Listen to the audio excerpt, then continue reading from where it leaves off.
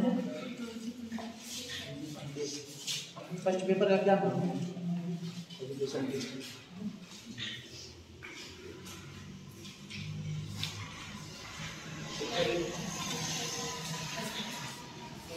है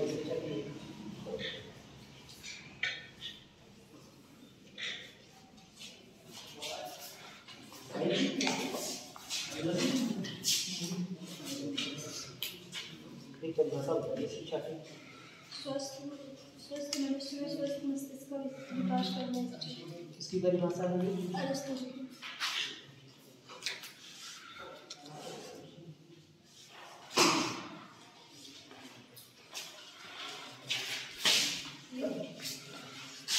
नाम क्या है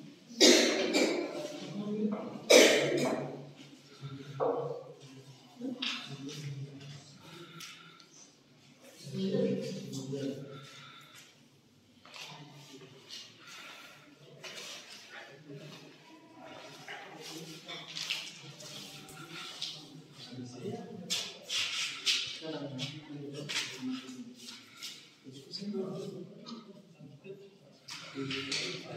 you.